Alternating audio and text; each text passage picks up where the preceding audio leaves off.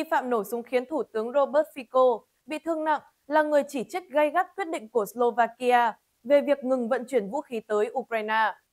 Theo hãng tin RT, đây là thông tin được Bộ trưởng Nội vụ Slovakia Mateusz Suta Estok công bố hôm 16 tháng 5. Trước đó, Thủ tướng Fico đã bị bắn nhiều phát đạn ở cự ly gần hôm 15 tháng 5 khi ông gặp những người ủng hộ ở thị trấn nhỏ Hanlova.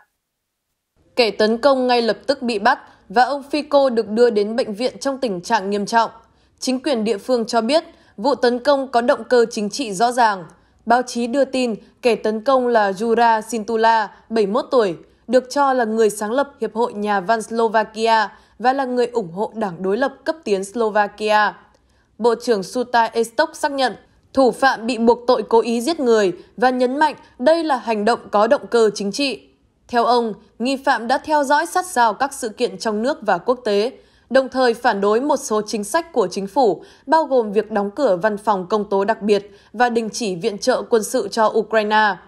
Nghi phạm đã nói những lý do tại sao không đồng tình với chính sách của chính phủ và tại sao quyết định ám sát thủ tướng. Bộ trưởng Sutai Estok mô tả kẻ tấn công là con sói cô đơn và không liên kết với bất kỳ nhóm nào. Cũng trong hôm 16 tháng 5, Phó Thủ tướng Slovakia Robert Kalinak cho biết Thủ tướng Fico vẫn trong tình trạng nghiêm trọng và còn quá sớm để nói về thời gian bình phục.